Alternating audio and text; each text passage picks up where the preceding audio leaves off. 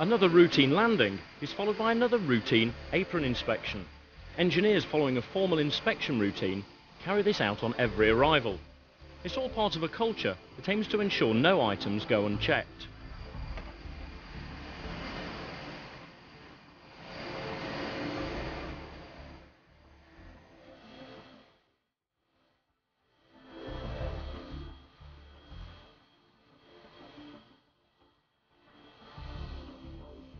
This car may not be as technically complex as an aircraft, but when it comes to inspections, the same disciplined approach applies when the car goes in for its MOT. Just like aircraft examinations, the MOT test is best carried out by following a formal inspection routine. This video is about getting into routines because testers need them to get it right. Getting it right is important because if you don't, the MOT test station might lose that. Procedure is very important. The procedure for the inspection is laid down in the tester's manual to assist the tester. It's important that he carries out this procedure so that he covers all aspects of the vehicle being tested, thus finding out any defects. Testers go wrong on two reasons. They fail vehicles incorrectly.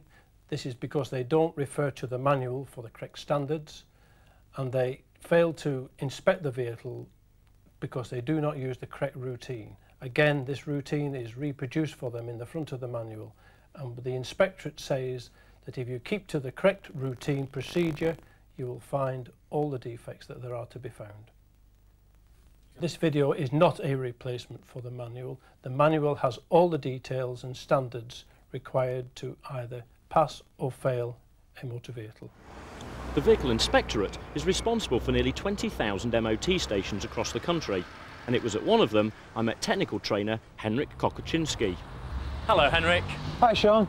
Now, what's the best advice you can give when you come to do a test, and where do you start? Well, let's start in reception. The process really starts here in reception, where a few well-chosen words by the receptionist can establish some factors that will certainly save time for the, testers for the tester later on. For example, is the vehicle the right class of vehicle to be tested at this test station? Is there a current and valid test certificate so that if necessary the, the certificate can be extended? Are the keys available that will unlock all of the apertures? Is it a diesel vehicle? Because if it is, there are two very specific questions that the receptionist will have to ask about the service history of the vehicle and whether or not the vehicle was in any way laden, uh, which might inhibit a proper inspection of the car. And finally, personalised number plates. There again is a reason why you might need the logbook to establish the correct age of the vehicle.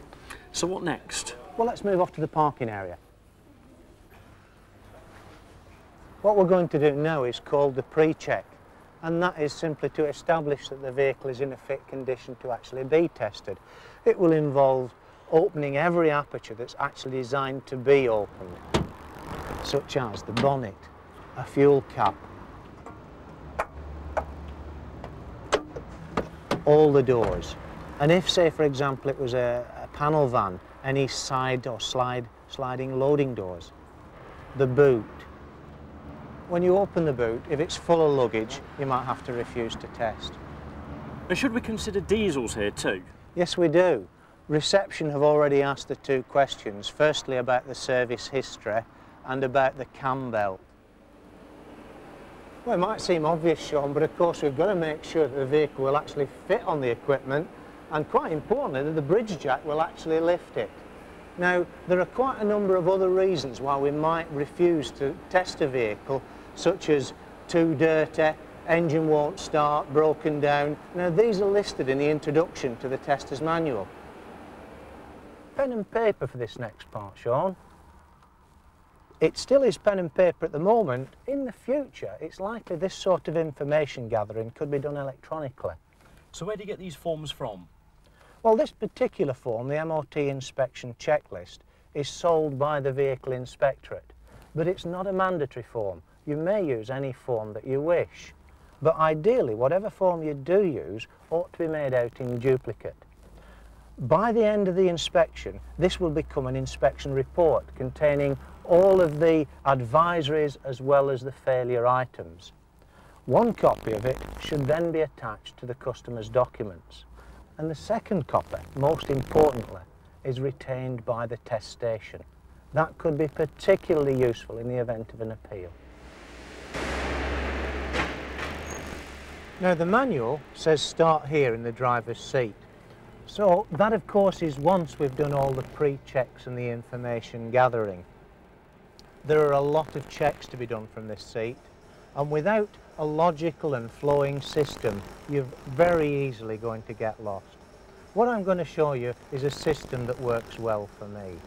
It consists of checking the driver's seat security, doing all of the steering wheel checks, picking up on the horn and moving down the column to the stalks, operating all of the controls on the stalks. When I do the particular one that operates wash and wipe, I look up to assess the windscreen, the screen and glass and bring in the mirrors at this time. Now the system I use for a dashboard involves starting at the left hand door pillar and sweeping progressively across the dashboard until we come to any testable item. Test that item now and sweep on to the next one. That will end us up on this post over here. When we've done that, we return to the column and move on down to the pedal group. Now it's so dark down there, I'll need a hand lamp later on. But what I will do now is the brake servo checks. And having completed the servo checks, I'd move across to the handbrake area here, carrying out all of the handbrake checks and the seatbelt checks. And then finally, one last check before we get out of the vehicle, make sure that the passenger's inner door handle actually works. That's the, the inside of the car complete. When you get out of the vehicle, the manual has clear diagrams of the path to follow at ground level and underneath. This is a set routine and a route to follow as the tester works around the vehicle. The reason is simple. By doing so, the tester is more likely to be methodical and not miss any testable items. It's just like with the aircraft. The suggested routine in the manual, as we have seen, starts in the driver's seat with the associated checks. Next, get out and move round to the front of the vehicle to examine the lights and check headlight aim. Move back to the offside front. Then work your way along, checking the offside, not forgetting to open all the doors. Inspect all the sills for corrosion. In some cases, the outer ones might be easier to inspect later, when you do the underside. At the rear, examine the lights and then inside the boot or cargo area. Then move forward, down the near side to the front again, repeating the necessary checks. Finally, inspect under the bonnet. Now let's look at the routine in more detail. We've finished in the driver's seat and the next thing we're going to need is an assistant. Uh, a few words about the assistant. He's going to have to operate all the controls when I ask him. Now, even if he's a fully qualified tester himself, he cannot make any decisions. So, Eric, would you like to join us, please, and sit in the car? And we'll move off round to the front of the vehicle. We'd ask the assistant, Eric, to switch on the lights, please. We'd check the condition and operation of all the legal required lighting at the front, not forgetting that they need to be tapped to see if they flicker and check for security. Having checked the headlights, we would then, using the appropriate headlamp aim equipment, which firstly we've accurately aligned to the vehicle's centre line, at the correct distance, with of course an assistant sat in the car, we'd carry out the checks of headlamp aim. Headlamp aim. We're going to set off the, around the car now in a clockwise direction. So putting the beam tester away, we're going to move over to this corner here and carry out a check of the operation of the front shock absorber. Be careful not to damage body panels. When we're happy with the shock absorber, step back and look for sharp edges and damage. Looking down now at the tyre, find out the size and type on the tyre. But the tyre condition I'll do later when I have a much better view. With a Class 7 vehicle, the tyre sidewall needs to be checked for the load and speed rating and compare your findings with the tables in the manual. Stepping back again, moving towards my left, we'll check the security of the side repeater. Leaning over, we'll check the security and the condition of the wiper blade. stepping back and looking, moving left again, the security of the wing mirror. We're happy with the wing mirror, look at the door for sharp edges and damage.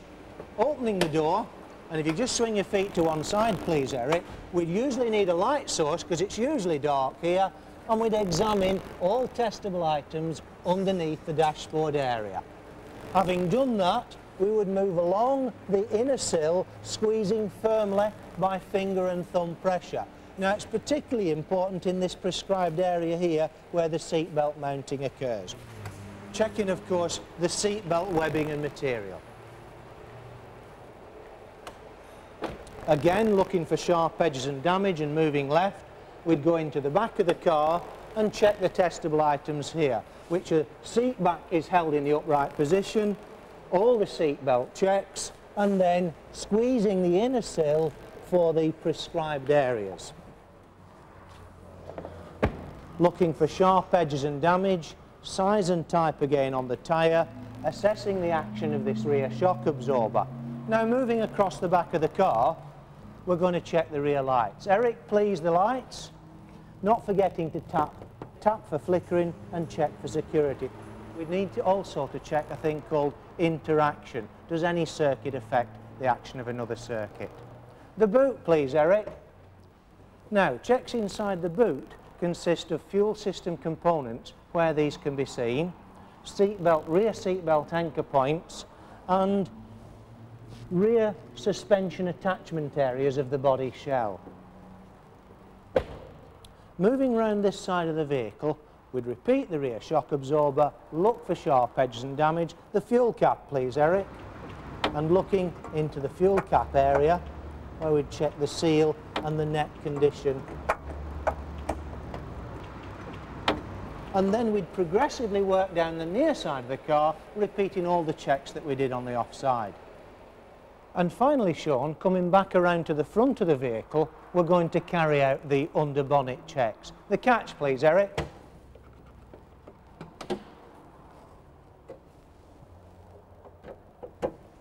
Now, under here, as with the rest of the car, what's needed really is a system. We're systematically going to pick up a point in here and sweep around there. Now, obviously, a light source is essential and it may well be that the car will require the use of the corrosion assessment tool. So, from this point in here, we're going to sweep around looking from down in this area here searching the car's body shell for, in particular, the prescribed areas for any signs of excessive corrosion. There are none on this vehicle. We're moving across and we're looking now at all the bulkhead area and the corrosion around here, round there and down into the area around here. Essential to have your assistant because we'll need the engine running. Okay, Eric, make sure you're out of gear and start the engine, please. Now, Sean, with the engine running, there's several things we can check. Is the exhaust system unnecessarily noisy from, say, the exhaust manifold? Are there fuel system leaks? All the fuel system on view here. And also with the engine running, we can assess all the brake system components under full servo pressure. So we'd look at the items. Okay, Eric, foot brake hard on and off. Foot brake hard on and off testing items under pressure. One last job that we'd save to the end is rock the steering. Now for that the engine would need to be running if there was power steering. And so rock the steering please Eric. We'd need a light source to look at any testable items. That completes the under bonnet inspection. The next thing we're going to do is move forward onto the ramp and for that we have to retain the services of the assistant and we'll keep him until we've completed the underside inspection. The next part is the under vehicle examination. This would start with rock the steering. Now for that particular test it's important that the car's not sat on the turn plates. We don't want to remove the load from the steering joints. Also for that the engine should be running. Now with that engine running the best practice is to get all the checks out of the way that require the engine to be run. And that would be the brake, servo-assisted brake pressure checks and checking the front flexible hoses for ballooning under pressure. Do the two front hoses, move down to the back axle and there you'll find another one or two flexible hoses. Check those. Remember all brake hoses and pipes need to be checked under full pressure. If there's a mechanical load sensing valve, we might check that now to see that it moves. Walking back down the vehicle, checking the exhaust system for noise and leaks. When we come back to the front, we can now ask the assistant to switch the engine off and we shouldn't need it again. This extra little procedure we've just talked about is not exactly what's shown in the manual, but the purpose of it is to enable the checks that are necessary with the engine running to be completed as quickly as possible so that the engine can be shut down and this will minimise pollution. OK Eric, switch off the engine. Just as with the vehicle on its wheels, there is a set inspection route underside as well. In the manual's suggested routine under the vehicle, we see a view from above. This shows a start point by the offside front wheel. Work forward from here and across the front of the vehicle and then back along an imaginary line between the front wheel centres. Then continue down the offside to the rear, checking as you go. Move across and then return down the vehicle to the near side front wheel. Once again, let's look at the routine in more detail. The circuit actually starts ahead of what we'll call the front axle. We refer to it as the front axle. It will be in line in this vehicle with the drive shaft. So standing ahead of the front axle and looking in at the offside front wheel, the tester would now systematically search for defects in that area there, coming back along the suspension, sweeping round the front of the vehicle back down the inspection here and into the back of that wheel there. When he's completed that search, he steps behind the front axle, going to the same wheel, moving into the back of this wheel. Again, he's visually inspecting and looking for defects. This is all a visual inspection. The inspection comes out along the suspension, bringing in prescribed areas. We've now come into body mountings.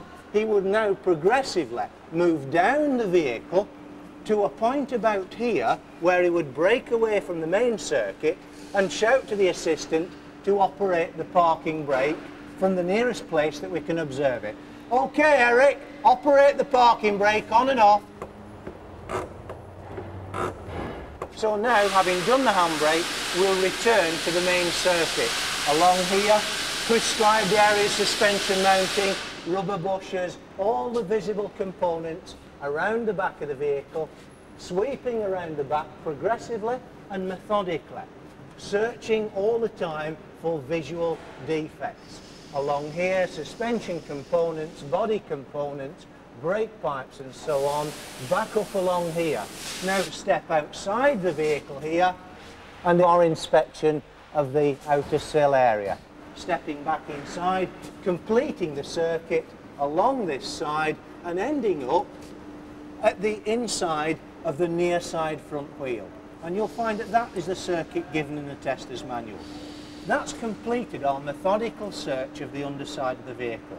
We're now ready to go into what we call the jacking routine. We're going to jack the front of the vehicle first and then the back.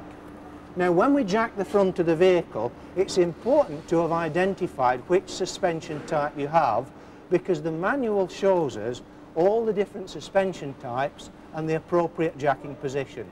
Now this particular vehicle is equipped with what we call MacPherson strut suspension and so it's critical that we jack on the body and let the suspension fully hang. We've jacked the vehicle up and brought it back down to a comfortable working height.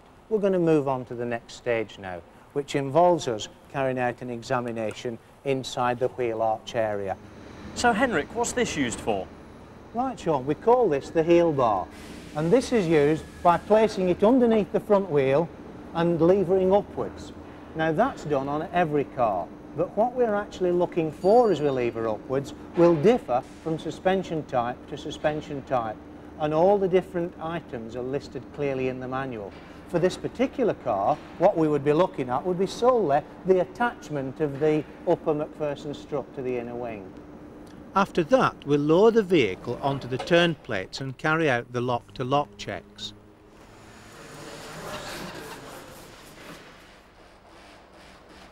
And again, brake hoses for stretching, twisting and fouling, and tyres for catching on suspension and bodywork.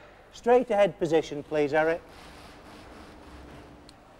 Right, now you've got Eric out of the car. What are you going to use him for? Eric, would you step in here? What we're going to do is complete the front suspension checks. Grasping the wheel firmly at the 12 o'clock position at the top, rock it vigorously in and out whilst I inspect the condition and wear on the strut inside. Okay, Eric, vigorously in and out. And stop. When I'm happy with the condition of the strut, I'll ask Eric to change his grip to the 3 o'clock and 9 o'clock position. And again, the vigorous shaking action is in and out until we get it to slide on the plate. During that check, I'm behind here checking the lower suspension ball joint and the track control arm inner bushes. Okay, give it a vigorous rock, please, Eric. The ball joint and across to the bush. And that one's fine, thanks very much. We've moved to the rear of the vehicle now, Sean. We've correctly jacked it. Now the manual asks us to jack wherever possible under the body, letting the wheel hang free, whatever the suspension type. This will give us a much better view when we sweep around here testing all the items that come into view. The next part of the test is the brake test. We're going to use a roller brake tester. There are full instructions in the tester's manual for the correct use of a plate brake tester. Also listed in the manual, there are a list of vehicles which should not be roller brake tested. These vehicles would need to be tested on the road using a decelerometer. So back to the roller brake test. First of all, we've got to align the car centrally in the rollers. Handbrake off, start both rollers together, let the car centralise itself in the roller set. Stop the rollers and firmly apply the parking brake. Starting the near side roller, take the brake reading slowly through to a maximum value and with any modern servo-assisted brake car, we're going to achieve a wheel lock. Write down the value at which the wheel, the maximum value it reached and whether it locked. Repeat that for the offside wheel, slowly through to a maximum reading and whether the wheel locked. When we've got both of the front wheel readings recorded and whether they're locked, we're now going to go into what we call the balance test. And for that, we're going to start both of the front wheels at the same time. Before we press the brake pedal, the first thing to do is to look for any bind on the clocks. There are none, and so you go through now. Slowly observe how the readings rise as a matched pair. Take the readings as high as possible, but do not allow the wheels to lock. When we're happy with the balance, and this one's clearly good, watch the brake as you slowly release it to see that the release is a pair. When we finish the front wheels, we're going to move the car forward onto the rear wheel brake test.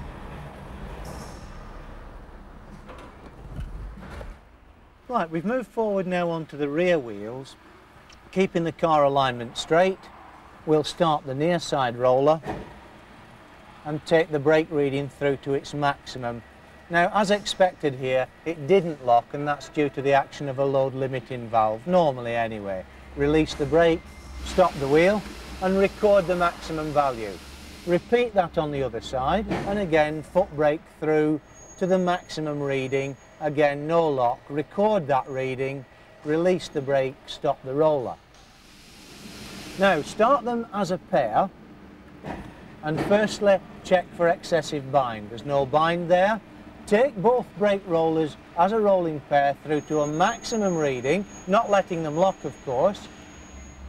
Don't forget to watch them as you release the brake pedal come slowly back down again and they're behaving fine. Now this time there are no imbalance requirements on the rear. It's simply up to the tester himself to decide if he has found a serious braking defect.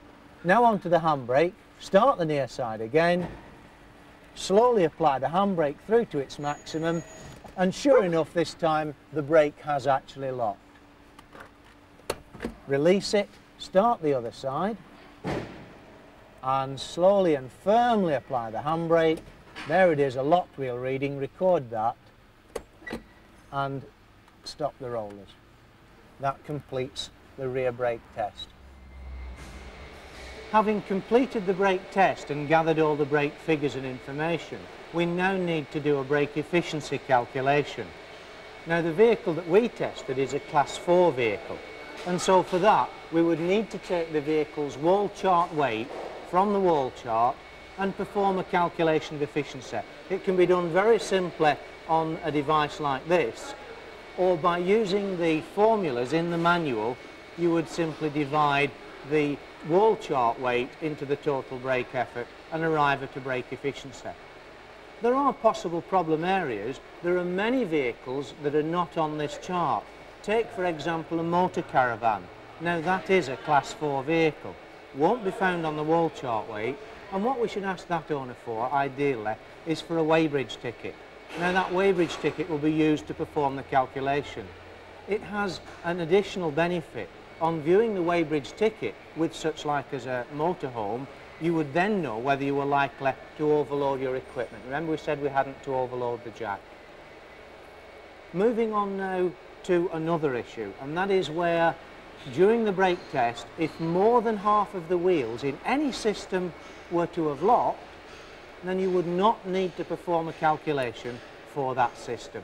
And that holds good for both the service brake, where that would have to be three or four locked wheels, or the case of a handbrake, where that would have to be both of the wheels locking.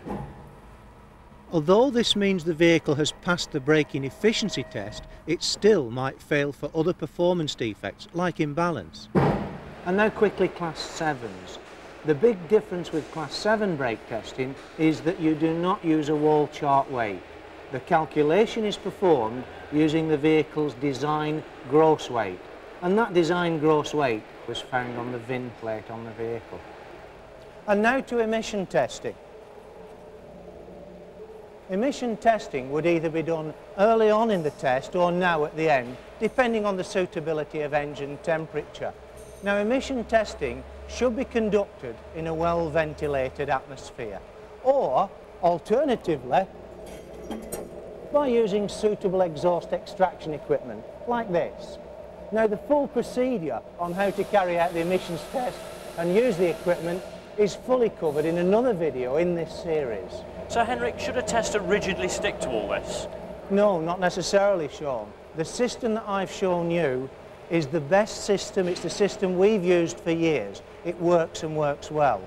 However, if a tester has a system he's happy with, and importantly, it does not allow him to miss a testable item, then that would be okay. And finally, Sean, the test is not complete without the paperwork. If the car had passed, we would make out a VT20 test certificate. If the car had failed, a VT30 failure certificate. Attached to either of those would be a copy of our inspection checklist and then the whole thing is entered into the VT12 register and that brings the test to the end. Air transport relies on set inspection routines and procedures. It is a culture that works so well that the safety of flying can be taken for granted. People demand road safety, and that too depends on setting standards. The MOT test is a standard setting cornerstone in making sure our roads are safer for everyone. The vehicle inspectorate's role is to ensure that vehicles when used on the road are roadworthy and they meet environmental standards we are also interested in supporting, helping the MOT scheme and the testers to ensure that they test vehicles to the correct standard.